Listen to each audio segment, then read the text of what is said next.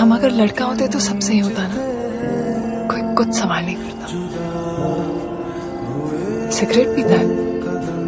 अरे भाई, लड़का है।